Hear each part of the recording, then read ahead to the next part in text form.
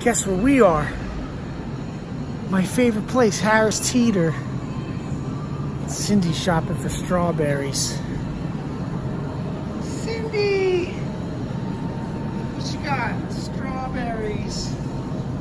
Strawberries! Blueberries and strawberries.